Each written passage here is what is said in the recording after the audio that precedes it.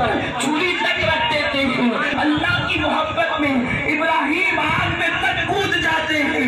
वो इतने वफादार लोग हैं कि अयूब के जिसम में बजाहिर कीड़े पड़ जाते